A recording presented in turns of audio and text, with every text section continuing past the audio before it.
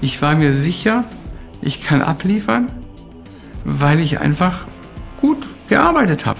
Sigrid war zufrieden, ich war zufrieden. Wird es wohl klappen.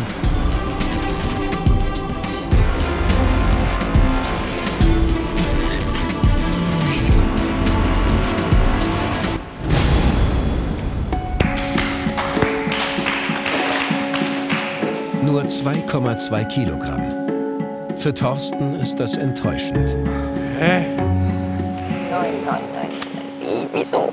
Wieso? Er hat alles gegeben. Ich verstehe es nicht. Alles hat funktioniert. Alles.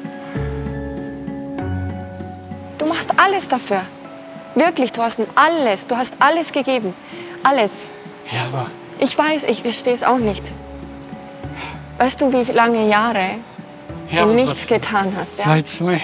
Aber jetzt weißt du, wie hart es ist, wieder zurückzukommen da, wo du willst. Du musst kämpfen. Das ähm, zerreißt alles in einem. Man ist einfach nur enttäuscht. Warum?